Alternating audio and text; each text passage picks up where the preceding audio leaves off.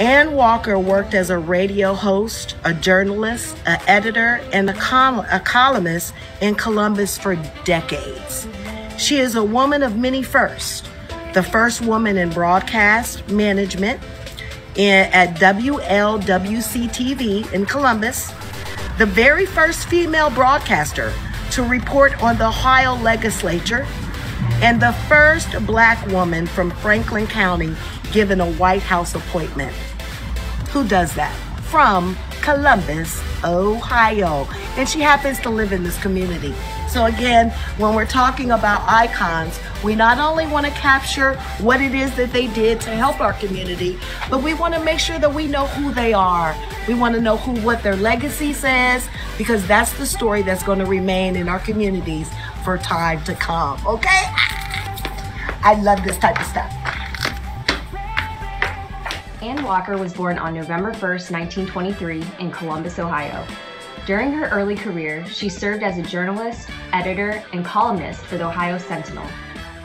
In the 1960s, she joined Columbus radio station WVKO AM. I did an interview with uh, uh, uh, MLK, Martin Luther King.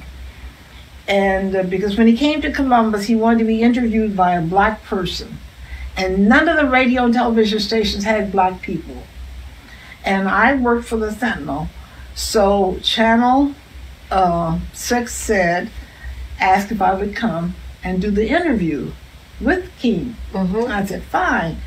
And, and I, I have to add this because while I didn't know him, I just met him.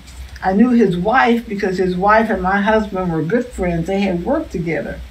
And when Linwood and I became engaged, and she came over to Columbus because she was going to uh, um, Antioch and Yellow Springs, and she came over to Columbus to see if I was good enough to marry him. And I thought, well, I said to her, Wow. I said, you had an opportunity, you know, but nevertheless, listen.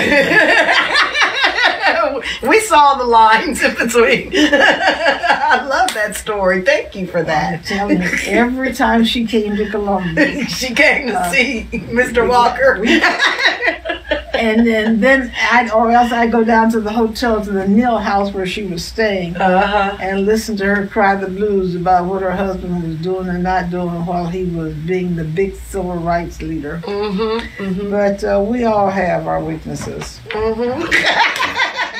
In 1978, Walker was inducted into the Ohio Women's Hall of Fame as the first woman broadcaster to report on the Ohio legislature. But her career accolades would continue beyond the boundaries of Ohio. President Jimmy Carter appointed Walker as special assistant to the director of the White House Public Affairs Office in 1980.